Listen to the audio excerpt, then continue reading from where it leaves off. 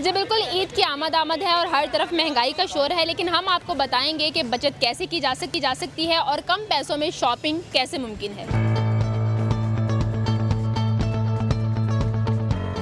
सबसे पहले बाइकी कपड़ों की रिगल रोड पर मैं इस वक्त मौजूद हूँ। गर्मियों में ईद आ रही है तो गर्मी में अगर आप सादा कपड़े पहनने को तरजीह को तरजीह देंगे तो सादा कपड़े जो यहाँ पर मुयसर हैं, वो तकरीबन 600 का सूट है। 600 में शलवार कमीज दुबट्टा आप बासानी रिगल रोड से ख़रीद सकते हैं, लेकिन अगर आपका दिल चाह रहा है कि थोड़ा कढ़ाई वाला सूट हो एम्ब्रॉयड सूट हो तो वो यहाँ पर मिल जाएगा आपको साढ़े आठ सौ में। कपड़ों पर कढ़ाई भी है और दिखने में भी खूबसूरत है। ट्राउज़र भी साथ मौजूद है दुबट्टा भी है तो साढ़े आठ सौ से साढ़े छः सौ के दरमियान ईद की शॉपिंग की जा सकती है। अगर आप बात करेंगे कि बच्चों के कपड़े खरीदे यहाँ से जाएँ तो वो साढ़े तीन सौ में फ़्रॉक मिल जाएगा। और अगर किसी बच्चे का सूट चाहिए तो वो भी साढ़े तीन सौ से साढ़े चार सौ में मुयसर है। कपड़ों की तो बात हो गई, अब हम आपको दिखाते हैं सस्ते जूते। आपको अनारकली बाज़ार में कैसे मिल सकते हैं?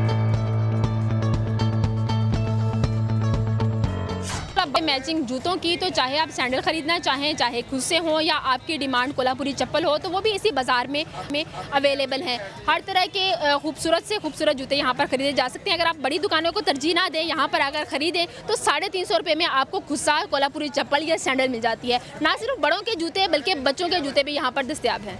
अब सबसे आखिर में आता है हार सिंगार क्योंकि हार सिंगार के बगैर खातन की ईद नामुकम्मल है। छोटी झुमकी का इस वक्त ट्रेंड है जो अभी खातन ज़्यादा जिसको पहनना पसंद करती हैं। तो उसकी अगर बात की जाए तो तकरीबन ये वाली जो झुमकी है, इसकी कीमत डेढ़ सौ रुपये है। लेकिन अगर आप बड़ी झुमकी या टसल वाली जो बालियाँ हैं, वो पहनना चाहते हैं तो उसकी कीमत दो सौ रुपये तक है। साथ में अगर आप ख़रीदना चाहते हैं चूड़ियाँ तो चूड़ियाँ जो हैं, वो सादा चूड़ियाँ पचास रुपये दर्जन है। इसके अलावा अगर पहनेंगे आप थोड़ी फैंसी चूड़ियाँ हैं, जैसे कि यहाँ पर दस्तियाब हैं रिगल रोड पर तो ये जो चूड़ियाँ हैं, ये तकरीबन दो सौ रुपये में है।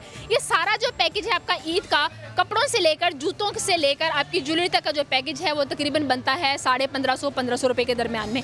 तो ईद की शॉपिंग सस्ते में मुमकिन है। खातन फैसलाबाद की जो है, वो रिगल रोड पर आएँ या फिर अनारकली बाज़ार आएँ। यहाँ पर सस्ती शॉपिंग की जा सकती है, अच्छे से ईद भी मनाई जा सकती है और बचत भी की जा सकती है। जी।